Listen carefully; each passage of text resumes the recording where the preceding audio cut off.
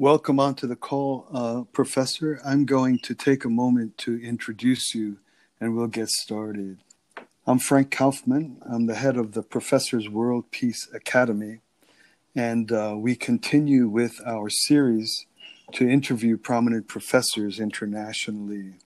I have the very special pleasure uh, to welcome to today's program Professor Joseph Terwilliger.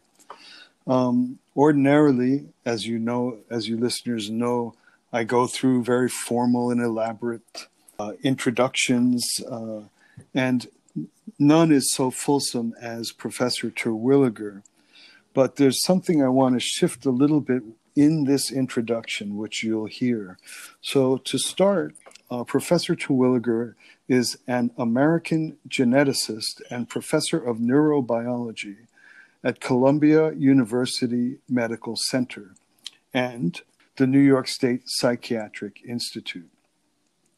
In addition to his scientific research, he is known for accompanying retired basketball player Dennis Rodman on his visits to North Korea, where he serves as Rodman's translator. He began his involvement with Rodman's trips to the country after meeting him, uh, evidently winning an auction or winning a ball game with him at an auction. So um, I could go on and on. The the the non non puffed up CV of Professor Terwilliger is runs pages long, and every bit of it is a needed word. But while I was putting this together, we ended up in emails discussing a little bit of what was going on during the COVID lockdown, and I think just this passing note of uh, professors telling me what's what he's been up to during the lockdown is as great as as good an introduction as the many pages of what might be uh, read in stuffy formal situations. So Joe writes me, uh, Professor writes me, I spent much of this week setting up an online course for my Tunisian and Libyan colleagues and recruiting teachers and working on logistics in Tunisia. These days, my main scientific projects are in Venezuela and Finland. And I have projects under development in Libya, Iran, and always in the Koreas. Also, to my, as to my other career, my brass group is playing at http at the at the this is the web address url philharmonicsbrass.com and the most recent thing we did during the lockdown was a medley of film music as a tribute to essential workers. So I would encourage our listeners to, when you get a chance, uh, Google or go to YouTube and search Philharmonic Brass Film Medley, where Professor Terwilliger, a professional and, and symphony uh, tuba player, uh, has put this together for essential workers.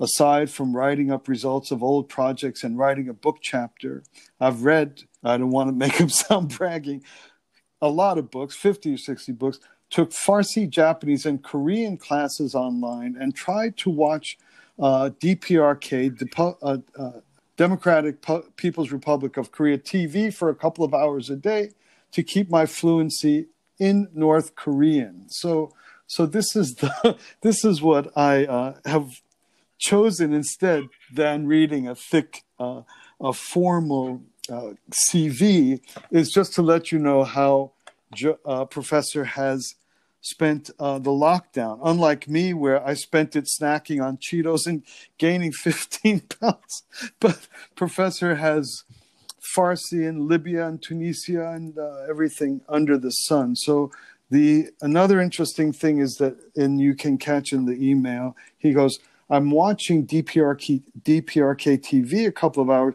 to keep my fluency in North Korean, not my fluency in Korean, but my fluency in North Korean. So that subtlety, or it's just a throwaway line that is that so captures an extremely important nuance on the Korean Peninsula, means that we're speaking to a person who's not coming from book knowledge. Uh, and for th- and for this reason, for my first in the series of interviews with Professor Terwilliger. Uh, we're going to focus on uh, Korea, North Korea, South Korea, the uh, East Asian political situation, and we'll talk for a few minutes on that together. So, thanks for sitting through that, Professor, and welcome to our uh, interview here. Oh, thank you. oh, good. Um, so, so with your, I'm sure that I'm sure that a few words came up as we as I introduced your background that would have the readers interested, and I'd like to invite you to say as much or as little on any one of that. I think the thing that stands out is that no sooner are is the listener or reader trying to quickly get your mind around what a geneticist and neurobiology is, no sooner do we try to kind of wrap our mind around, oh yeah, I think I've heard of that. It must mean this. Is, then suddenly we're hearing about tubas and Dennis Rodman. Uh, so it makes you a most fascinating figure. And if you just want to say anything about the kind of the, the range of of a very almost lilting version of Renaissance existence, like a Renaissance man, but with just the most curious collection of things in the range. If you want to say anything about uh, things that would certainly be of extreme interest to to listeners. Sure. I mean, when I when I uh, first went off to college, I went to music school. My parents weren't super happy about it, but I always wanted to play tuba in an orchestra. And well, I pretty quickly realized that there's not much job opportunity in that field. Um, uh, after I graduated, I wanted to come to New York City, and I found out that if you study biology or medical research, they actually pay you to go to school. Whereas if I continued to study music, I'd have to pay them for the tuition and get a job and do all that other stuff to pay the bills. So I just I just ended up in genetics totally by accident because I applied and the person I applied to be a student of had never had a student before and he really wanted one. So he took me even though I didn't even understand the titles of my classes the first year because my degree was in tuba, you know, from from undergrad.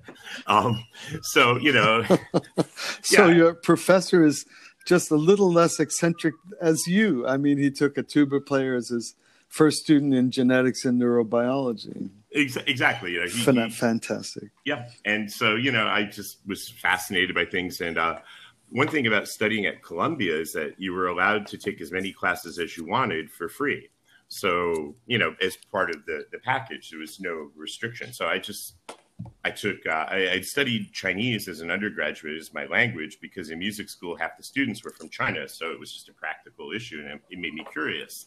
Mm. And when I came to Columbia, I couldn't take Chinese because it conflicted with other things. So I said, well, why don't I take Korean? And just out of curiosity. And so I studied Korean for a few years, and then I studied Russian for a few years. And I was just curious about the world. I think it's one thing you that you need to be a good scientist is just curiosity. It doesn't really matter about what you're curious about, but if you have the curiosity and the you know willingness to do the work to ask the right questions, then you know you just sort of end up where you end up it's kind of like I always figure I take the Yogi Berra approach to life when he said, you know, you come to the fork in the road, take it. You know? mm-hmm, mm-hmm. And that, and that's always been my approach. Whenever something comes up, I just said, sure, why not? You know, I'll try that. I'll try this. You know, and that's how I ended up kind of where I am in a weird situation. Now, another thing that connects these is that when you do work in human genetics, we're basically I, I basically worked trying to find genes that cause diseases in humans, right? Yeah. So so in New York City, it's really, really, really difficult to do those kind of studies because we all come from different backgrounds. We're from all over the world. And, you know, any two fat people like me, you know, we probably share a lot of we may we may be similar in the things that make us fat, but we're also going to be very, very different in terms of all the generic background right? Because mm-hmm. we come from you different said places. Ge- genetic background, yes. Yeah, genetic background. Yeah. Yes. Yeah, okay. Very yeah. good. Huh. So, so the idea is that I then go around the world looking for populations where people are much more similar to each other, so that that way you can more easily see what genetic variants make the the ones that are sick different from everybody else because uh-huh. there's there's less noise. So it's like a natural experiment. Uh-huh, I see. You can't do experiments on people. Like I can't say you and some woman, please give me twelve kids and I'll raise them in a cage and feed them mouse chow. It just doesn't work that way. Yeah, you look for where it's Mm. happened naturally. So that's taken me to the far corners of the world looking for interesting populations. You know. So, uh, Mhm. so Jeanette, uh, okay, here we are on this, and and I don't want to interfere with it, despite Sure, sure, sure, sure. having mentioned Korea. But so genetics is genetics is primarily anchored in the vision of curing disease, or are there many different elements or parts of it? Uh, there's lots of different aspects. It's sort of like what's different about different populations, what's the history of populations, because we are obviously all human beings are one big family, right? We're all connected historically if you go back far enough. But if you look at people that are connected more recently in a family, then the differences between them are much smaller, and therefore it's easier to find which genes do what because there's such a limited amount of variation. Yeah. mm, yes, yes, So, like yes. one one project that is the reason I got into Korea is I was originally doing this project that came up because I'd studied Korean and Russian as an undergraduate, uh, as a graduate student. Sorry, and I went to a Korean bookstore and I saw a book about Koreans in Kazakhstan, and I'm like, what are they doing in Kazakhstan? This doesn't make any sense. So I got Mm. curious, and then I realized that the Korean diaspora they're a very interesting population because genetically they're all very similar but because of the way history has worked out, the cultures have been radically different. So, for example, there were a lot of Koreans moved into Russia in the Russian Far East in the late 1800s. And in 1937, Stalin sent all of them to Kazakhstan in a month. They, were, the, Oh, they were the first population of many to be deported in the Soviet Union. And oh, so if I may interrupt, sure, sure. So that in the late 1800s, they're probably they're probably fleeing. Are they are they already fleeing occupation, Japanese occupation by, by then, or not yet? Well, interestingly, originally the migration was motivated by severe floods and famines in the northern part of Korea. Okay. which has happened throughout history. It's not just because of politics. It's because that's all mountains there, and there's a lot of floods and a lot of problems. There's not much arable land up there. So the Tsar's government invited the Koreans up into the Russian Far East because there weren't very many people there, and they could do farming and agriculture and get get Okay. things sort of started up there. yeah. Now they did get pushed more by the Japanese occupation into China and into into Russia, and then And Yeah. uh, and if I may, um, once once there starts to become a political cause for migration, Mhm. d- was it the case that having a community already there by dint of the prior migration into Eastern Europe, I mean Eastern Russia, that that when people are fleeing the occupation, there's already a community in Eastern Russia that would go tend to go there also, or is that not? Well, um, they they couldn't go to China during the last dynasty because that area of China was the home of the of the rulers, right? They came from that part of China, so China forbade people from moving into to, to China there. So that's why they went to Russia initially. But then, of course, Yeah. after the Japanese occupation, a lot of them went into Manchuria and into Russia, you know, up there. And there were people there already, of course, that spoke Korean and that made it made it possible for them to get along. Interestingly, Mm, mm. Stalin deported the Koreans because they looked like Japanese and he couldn't tell the difference, and they were declared enemy minority of Soviet Union on the theory that they were going to side with Oh. Japan because they looked the same, even though it's absurd. Oh, isn't absurd, yeah. that that really that's Yeah. the case? So this mass migration of Koreans to Kazakhstan was simply like any idiot on the subway thinking that all people are Chinese or something like it was it was that base that that that's Yep, remarkable. and they, they did it in a And month. so- they put them all in these uh, railroad cars and shipped them off in a month. You know, hundred thousand people. You know, and what was what was it? Why was Kazakhstan a safer? well, it's the farthest place away. It's in the middle of nowhere. It's the farthest place on I Earth from the ocean. So it's it, Amazing. and the Kazakhs, of course, welcomed them and took care of them because they were also suffering in the Soviet in Soviet times, and so they helped Right. them survive the first winters and uh, adapt into society there. And so and so your research as a geneticist, this this is kind of like a miraculous bizarre up case and opportunity that you can study Koreans in Korea, then you can study Koreans a million miles yeah. away uh, with an entirely different history. It's a perfect kind of dream genetics geneticist study opportunity. It's like what you do with agriculture, where you take plants and grow them in different soil conditions in a different place and see what happens to them.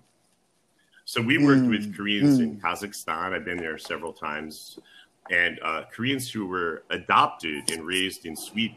So these were Koreans who were, you know, after the Korean War, there was a lot of poverty in South Korea, and so many children were adopted in foreign countries, and there's about 10,000 of them in Sweden now who are in their 30s and 40s and maybe older by now. So it's another population where they think they're tall blondes until they look in the mirror. you know, culturally they're completely Swedish, and in Kazakhstan they got their entire culture stripped. The diet changed, everything became different because they, there's no ocean there, right? They're in the in the in the steppes, so everything yeah. changed. So it's great yeah. in the sense for a geneticist, it was a unique opportunity, sort of what we call natural experiment. And how did uh, how did the Koreans end up in Sweden? Was it well after the Korean War? There was Sweden was one of the protecting powers in the DMZ, oh. and so there were a lot of children created by Swedish soldiers that didn't really fit in South Korea because it used to be if you were half Korean, you had major yeah. problems in the society because they were very conservative. So they sent those to right. Sweden to take care of them and it worked so well that they sent a lot more people because there's almost no domestic adoption in Sweden because nobody really gives up the kids. Okay. So people who wanted a kid, they could get one from Korea. Now it's like China and Somalia and other places, Russia, you know.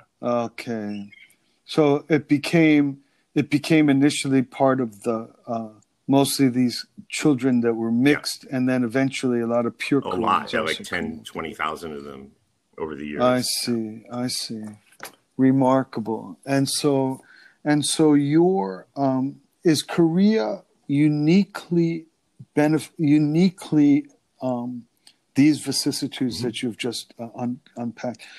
Is it especially fine for genetics, or is it a fusion of your kind of randomly picking Korean because China because you stopped studying Chinese? Was it part of your the accident of the language you chose, or is it would any geneticist uh, with your emphases naturally find the? Uh, no, I mean, I I found this just because I was interested when I I saw a book in the library. I studied up on it. I did more research. I went out and talked to people because I'm I'm very curious. When I find something that's interesting, I just go in depth and then it just seemed like, wow, this would be really interesting. It's a fascinating population. Why don't we try to do something? It's kind of nature versus nurture experiment.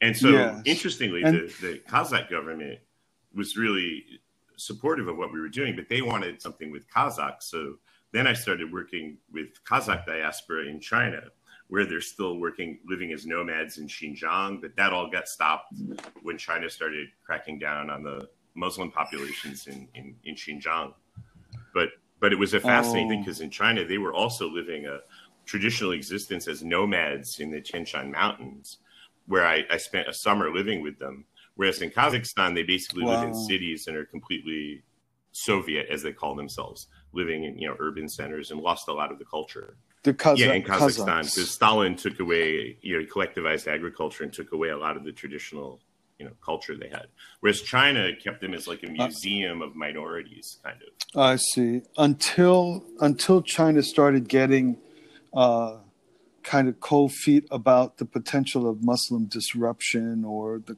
the classical. Kind of suspicion well i was i was uh, in urumqi which is the capital of xinjiang in 2009 and at that point there was a revolt by the uyghur uyghur population and yes. it got a bit out of control. There was a bit of an overreaction at first, and then the Uyghurs started attacking, and it, it, just became violent. And then China cracked down. So, like for the next, we, we we had a grant to do a study there, and then we couldn't do it because for the next year, China had shut down all tele, all international telephone, internet, oh. cell phones, everything to Xinjiang. So we couldn't even tell if our colleagues oh. were you know okay and a couple years later we got back in touch and went back but at that point it was impossible to do something there i see and so and so with each any any one of your studies will be in search of some particular dimension or aspect that genetics as a field of study can contribute to helping human welfare in some fashion. Hopefully, or at least understanding the human condition. So I, I always try to de-emphasize the idea that genetics is going to lead to massive change in how we treat disease because the genetic effects are usually really, really small, but they're important.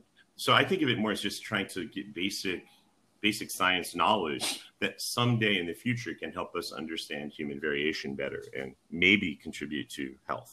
But I would always okay. understate okay. the the value to the subjects and so forth because we really don't know.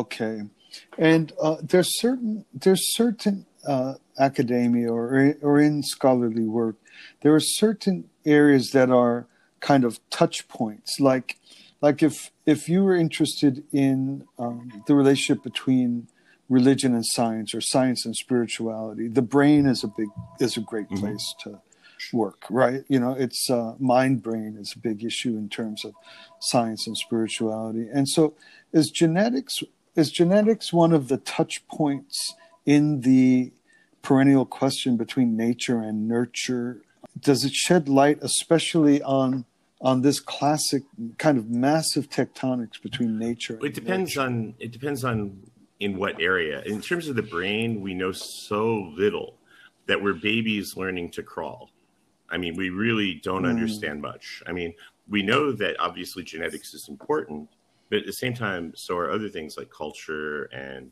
you know obviously various factors about lifestyle so one of my friends my colleagues in moscow who's a, a russian korean she did her thesis looking at depression in Koreans in Tashkent, Uzbekistan, compared with Koreans in Seoul, and found that in you know Uzbekistan it's like you know four or five times lower, much much higher in South Korea, but that's because of all. It was basically because of, of environmental factors. It's nothing to do with genetics. No, no. What was depression. much lower? So I'm depression sorry, and, and, suicidality oh, oh, oh. are a huge problem in South okay, Korea. Okay and a lot of it is because of all the pressure the pressure to do well on exams to you know look right to do well right. to be exactly this sort of cookie cutter image of what a person should be that is, exists in south right. korea you would expect that people in uzbekistan where it's they're poor they're not living very well you know the conditions aren't great for the koreans especially um, yes so i was asking i was asking if genetics is one of the touch points for a classic uh, a classic kind of debate. So there's classic there's certain classic debates in the academy, and one of them is nature nurture. It's not only in the academy; it has great impact on social life and policy and things like that. Is nature nurture, and is genetics a, is a is it a field within a special commentary and a special point of helping to grasp the relationship there on this issue. It, right. I think it should be. I don't think it is as much as it could be because the money is all for treating diseases that matter in rich Western countries. So oh. they want to they want to cure diseases of old age in the West because and that, that makes I sense because Congress is a bunch of old guys who don't want to die, so they'll give you money to study what'll keep them alive. but yeah, but, the, but there are a lot of interesting projects going on. A lot of things. It's more in the anthropological genetics sort of area where people do look at yeah. things like like what we had done, looking at migrant studies, where you look at like for example, I was mentioning my colleague in Moscow studied the Koreans in Uzbekistan and in South Korea, and they found the big a big difference was the enormously larger rates of depression and, and mental mental illness in, in South Korean adolescents compared with ethnic Koreans in Uzbekistan, but that's mostly because of the way society is structured. It's the high pressure. It's the you must do good in school. You must stay skinny, look good, marry at the right age, and be you know this sort of perfect person to make your parents happy. Whereas in Uzbekistan, people are more lackadaisical. They didn't really care so much about that. They're just sort of living their life. And it's something that I find kind of interesting that if you look around the world, and I've been to a lot of really poor countries, in the poor countries, people often would give you a higher self reported happiness than they do in the rich countries mm-hmm. because life is easy. There's less stress, it's easy going. Mm-hmm. But the social scientists didn't like that answer in a way. So they defined happiness as availability of health care, access to education, and all these things. And on those measures, Finland always comes out as like the happiest country in the world. And Finns just are like, we're happy because they're proud of being depressed all the time, almost, you know? right, right. but but self-reported happiness, which is all I really care about. I just want to feel like I'm happy. I don't care if I really am by someone else's definition. yeah, yeah. often is inversely related to income. Uh, yeah, yeah. You know what? I've, I've cut here. I'll just say I'm proud of myself for being an accidental anthropologist. That I, I, because I fly all the, I, I, I spend my whole life in airplanes, and I walk through, I walk through the upper classes to get to my seat back in the Right. uh, cabin, right? A cabin class, whatever the name of the class is. And um, as I walk through the upper classes, they're the most miserable people, kind of jealously looking at the exact millimeter of what, what's their own elbow room, and and Yep. they're just kind of just kind of aggressively ready to not get their due or their worth or something like that right. and right. then as soon as you get back to the that's supposed to be the miserable cabin class you know they're banging each other on the head with their suitcase and you know and then but before you even sit down you know the guys well where are you from and there's like 14 hour Right. conversations so all the happiness is back there among the miserable you know that's- and. Uh, and uh, i think that's exactly what you're describing in, uh, in social classes at large or entire countries or, or societies Yeah, because I mean, ultimately, what makes people happy isn't stuff; it's your family, your friends, your your social relationships, yeah which we're all missing under lockdown. But yes indeed yeah so Now- we're all becoming unhappy. now, now, as I hear you describing um, uh, the inquiries like depression or suicidal or the different types of Korean, uh, uh, what would they be called? Korean race, I guess, by in genetics. South in South Korea, it's, it's Right. not Um, the same. Yeah, it sounds to me that there's a certain sort of almost materialist assumption about like that ge- like that genetics would genetics would contribute to something like depression or something like that it's almost it's almost seems to flirt with this materialist view of what what informs being human Well, I mean, uh, genetics, you can obviously have genetic predispositions to depression, you can to any of. You sure. can uh, even Of course. racially almost, or Well, I don't. I, I I wouldn't. I mean, look, every trait differs between populations if it's compatible with life, because the way the way humans evolve, kind of within the species, is whoever has the most kids, their genes go more to the next generation, right? So there's always variation. If if if a, if a given trait doesn't contribute to how many children you have, it's going to be randomly distributed, and it will vary all over the place around the world. if a given trait, say it again, does not. Right. So, so, for example, there's a wide range of height in the world, right? Okay. And it's different, and within each ethnic group, within each population, there's a different distribution of height. Yes. And part of that is because you can be short and you can still have just as many kids as a tall person can have. Right? It doesn't Yes. affect how many children you have. So yes. the only thing that matters in terms of like natural selection or evolution is how many children you have. So the only traits that are constrained are ones where, you know, where your ability to have children is affected or your ability to survive is affected. And there are genetic traits which impact impact your likelihood of how many children you can have by, by racial uh, div, d, d, delineation. Well, there's some every trait varies between ethnic groups. Like Uh-huh. height or ethnic. Uh huh. Yeah, between whatever groups you want to talk about. I mean, that's that's normal because any group of people is going to be a little bit different, right? Yes. The only traits where everybody is the same are traits that are heavily selected on because they have to be in a certain range, like blood pressure. Blood pressure has to be in a certain range for you to survive. I see. So those traits don't have variation between groups. Everything else will, and it'll be random, and there's huge amounts of variation. I see. And um, so, are there certain ethnicities or ethnic groupings that have greater capacity for more more childbirth in in their fertile years? Is that? I think, I think that more has to do with culture than it does with anything else. Right, right. That's Some what I would have. Yeah, and in like the Western world, we're having very few children. Yes. And in the developing world, they're having lots of children. And the biggest difference between today and say 150 years ago is that, you know, if you look at cemeteries in the United States or anywhere else in the world, you'll often see 12 people in a row with the same last name died in the same year because of infectious disease. Yes. And so it used to be that you'd have 10 or 11 children and two or three would survive. Yeah. And go to the next generation. And that was how things stayed in kind of a balance. But today, medical science has improved so much that if you have 10 kids, probably most of them will survive, even in the poorest of countries.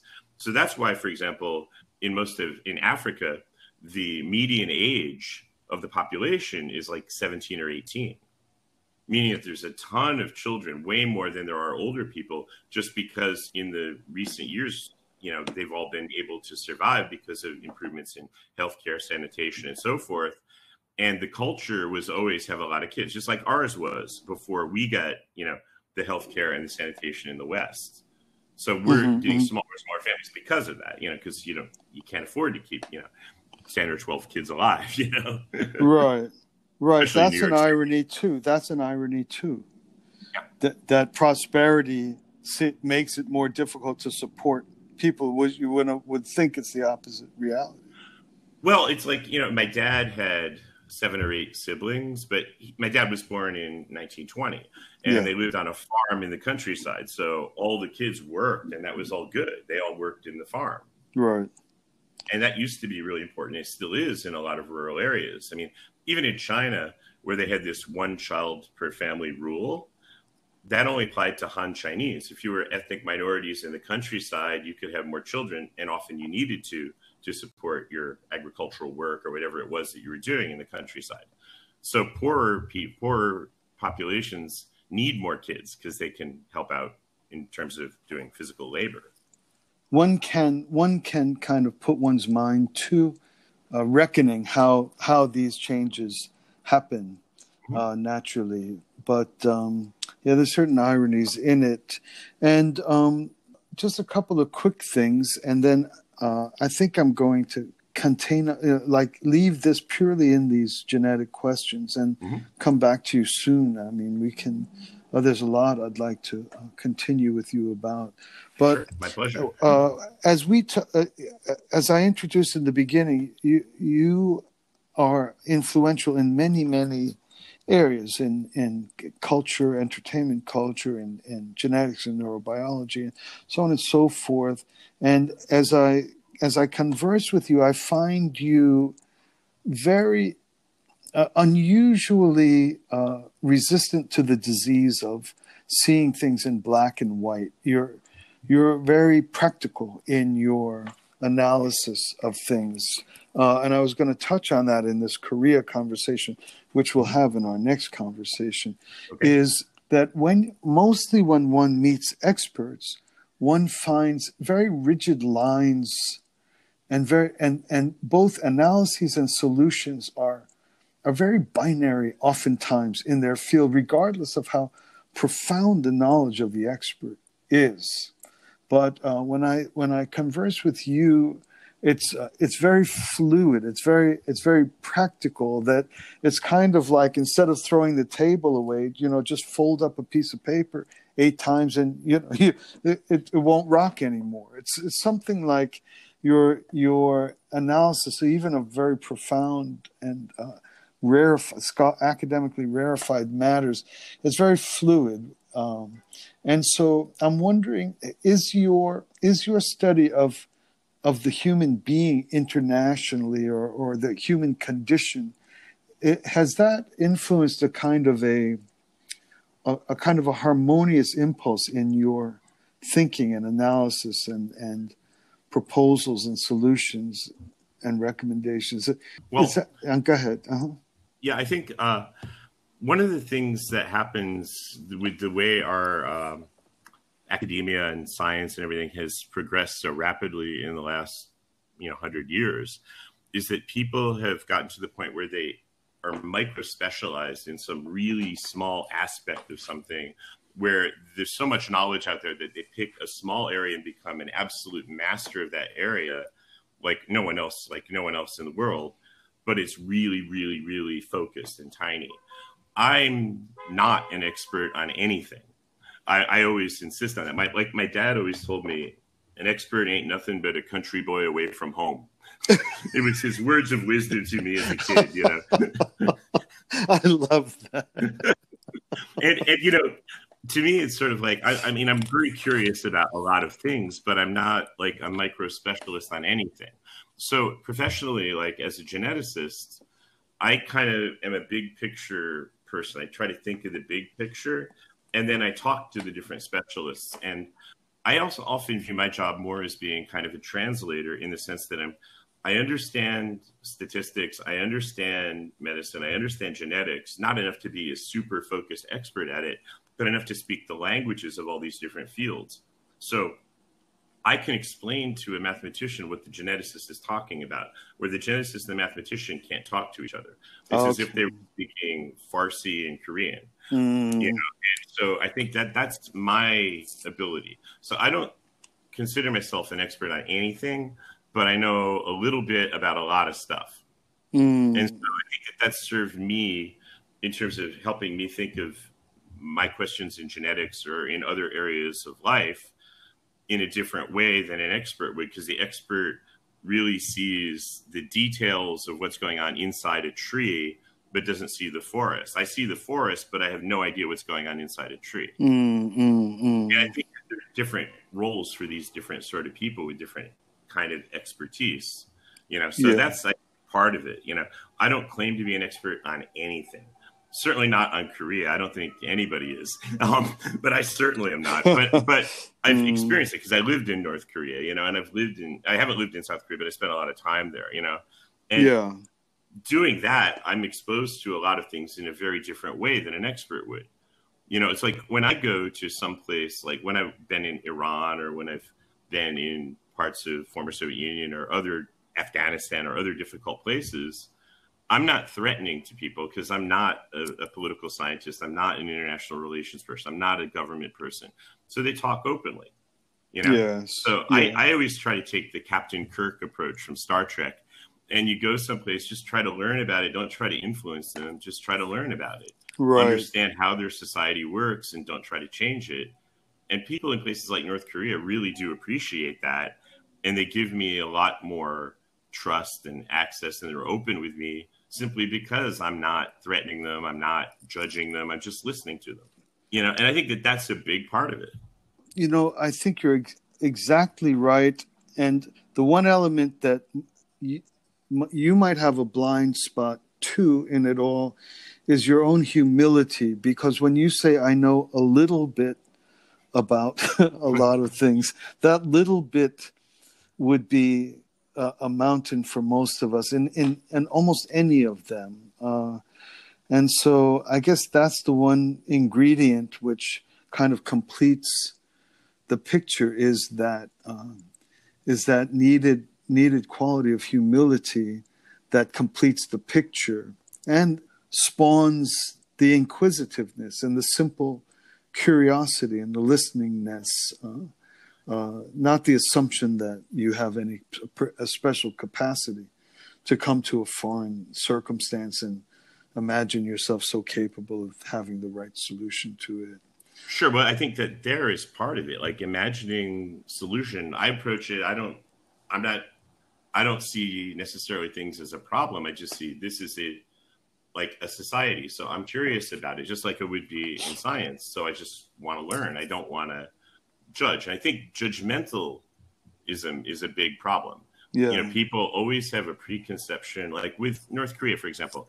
It, people that have never been there think they know what it's like, and they assume that what they've read is true and what they know is true, and they go in with a bias, and then they never can experience what it's really like. Yeah, they can you know? they can stand in the middle of it forever yeah. and never see what's there. That's right. And if you judge someone, also they're not going to talk to you. If you tell someone you're, I think you're wrong, or I think that you're everything you're doing is bad, then why would they have a conversation with you? Right. No human being wants to be told you're wrong and you're bad because that shuts down conversation. You just go in and say, "Hi, I'm Joe who are you? What do you do? Tell me about yourself, you know? Right. And right. I don't think that I have a higher, a better moral compass than other people. I think sometimes they're different, but I always want to hear their perspective. Yep. Yeah. Yeah. And I think um, I happen to believe that people can feel that even when nothing is said. Yes, absolutely. They feel it when nothing is said, and the, the silence is there when you don't know why it's there. Um, well, because it's yeah. An interesting thing on that topic, you know, I've I've lived part of the year for the last 20 years in in in Finland. And Finns don't talk much. And I've learned an appreciation for silence in a way that I never had before. So I went on a, a like a, I saw a friend of mine. You know, you see your friend on the street, you go, "Oh, let's go have a beer." So we'd go to the bar and we have a beer together and we'd sit there and no one would say anything. We're just enjoying each other's company because he's my friend. I want to have a beer with him. But if I didn't have, if they don't have anything to say, they don't say anything.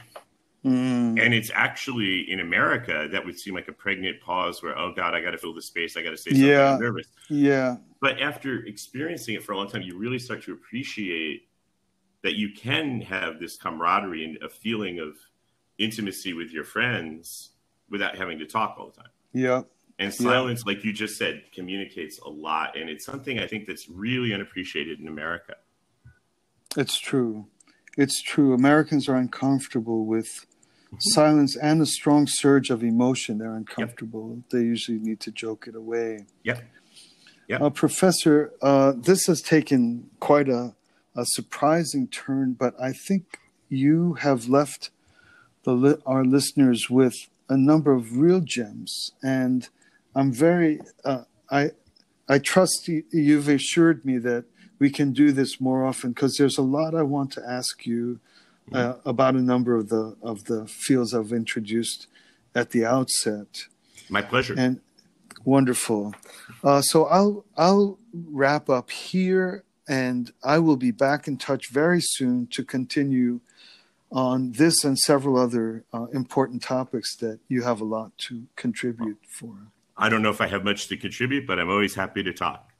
Wonderful. Thanks so much, Professor. It was really enjoyable. Thank you. It's a pleasure to to talk with you again. It's been what six months. yeah, it's been too long. God bless. You too. Bye-bye. Bye.